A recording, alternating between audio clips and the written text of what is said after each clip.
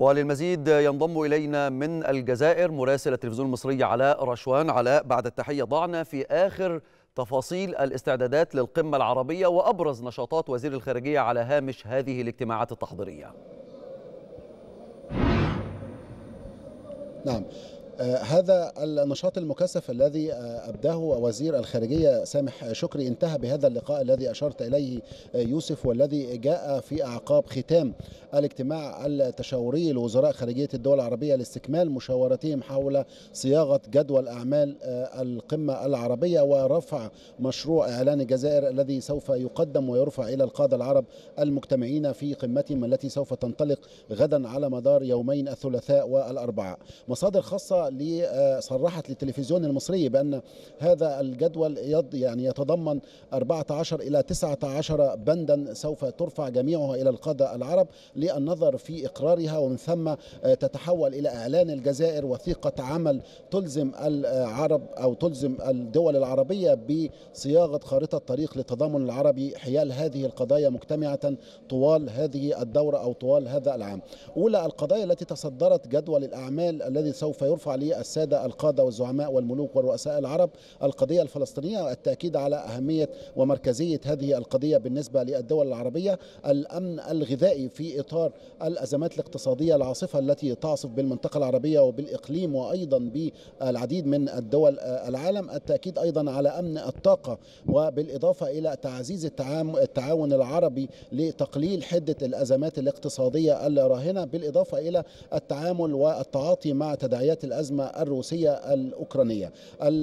جدول الأعمال أيضا سوف يتضمن التأكيد على مكافحة الإرهاب وأهمية تكاتف جهود المجتمع العربي مع الدول العرب العالمية أو الدول الفاعلة والأطراف الفاعلة في هذه القضية بالإضافة إلى قضايا أخرى مثل مكافحة ظاهرة الهجرة غير الشرعية وأيضا منع التدخلات والدعوة إلى منع ووقف التدخلات الأجنبية في كل من ليبيا واليمن والحفاظ على الاستقرار السياسي في هاتين الدولتين عبر إقرار مسار سياسي يضمن تحقيق السيادة الكاملة لكل من اليمن وأيضا ليبيا. بالإضافة إلى كل هذه القضايا كان هناك نقاش مستفيض حول الجوانب الاجتماعية وأيضا الجوانب الاقتصادية والجوانب الثقافية. في هذه الأثناء يستمر توافد وصول القادة ورؤساء العرب المزمع مشاركتهم في هذه القمة. كان آخر الواصلين كان عبد الفتاح البرهان رئيس مجلس السيادة السوداني ومن قبله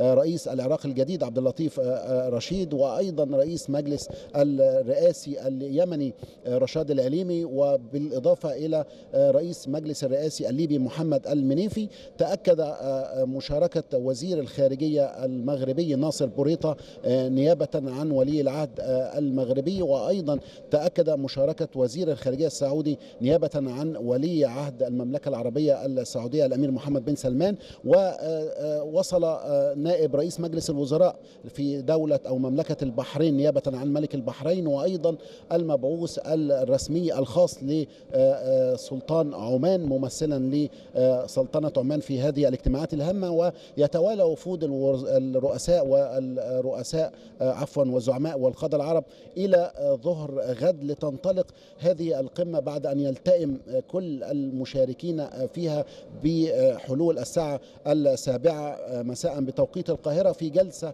افتتاحية علنية سوف يتسلم خلالها الرئيس الجزائري عبد المجيد تبون رئاسة الدورة الحالية الحادية والثلاثين من الرئيس التونسي قيس سعيد الرجلان أو الرئيسان سوف يلقيان كلمة افتتاحية. ومن بعدهما الأمين العام لجامعة الدول العربية السيد أحمد أبو الغيط يلقي كلمة الجامعة في هذه الجلسة الافتتاحية وترفع الجلسة لتلتئم مجددا في جلسة مغلقة سوف يتوالى خلالها كلمات الرؤساء المشاركين في هذه القمة. وتبدأ فعاليات اليوم الثاني من أيام القمة يوم الأربعاء بجلسة أيضا افتتاحية في تمام الساعة الثانية عشرة ظهرا. تعقبها جلسة تشاورية تعقبها أيضا جلسة ثالثة علنية وأخرى رابعة مغلقة لتختتم فعاليات القمة العربية الحادية والثلاثين بمؤتمر صحفي يتلو خلاله وزير الخارجية. الخارجية الجزائري رمضان العمامرة البيان القمة أو إعلان الجزائر وأيضا يلقي الأمين العام لجامعة الدول العربية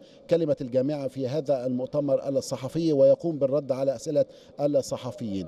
كل هذه الفعاليات تتواصل بالتوازي مع عدد كبير من اللقاءات الثنائية التي تجرى على الهامش ما بين وزراء الخارجية العرب وما بين أيضا رئيس الجزائر والرؤساء الضيوف على الجزائر. هذه النقاشات وهذه الاجتماعات تهدف في الأساس إلى خروج قمة الجزائر كما وصفها الأمين العام لجامعة الدول العربية لتكون قمة لم الشمل العربي وقمة تسعى أيضا لتوحيد مسار العمل العربي المشترك في المرحلة المقبلة بالنظر إلى التحديات السياسية الاقتصادية الاجتماعية التي تواجه المنطقة العربية. نعم.